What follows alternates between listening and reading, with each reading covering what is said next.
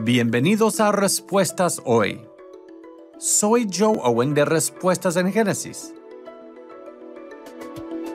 La geología con fundamento en la palabra de Dios. La idea de que la Tierra tiene millones de años es en realidad una idea moderna.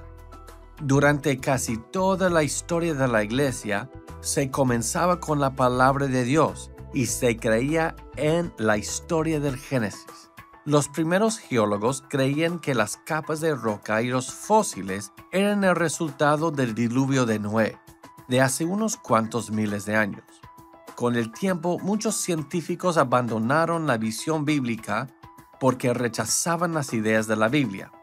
Esto no era porque la geología mostrara que la Biblia estuviese equivocada, era porque de antemano habían decidido no creer en la Biblia, antes que vieron las rocas. Estas filosofías entraron en lo que se llama catastrofismo y luego en el siglo XIX se cambiaron al uniformitarianismo.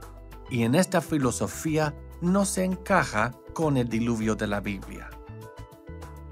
Si quieres aprender más sobre nuestros orígenes, el Génesis, la creación y el Evangelio, visita nuestra página web respuestasdegénesis.org. Respuestasengenesis.org.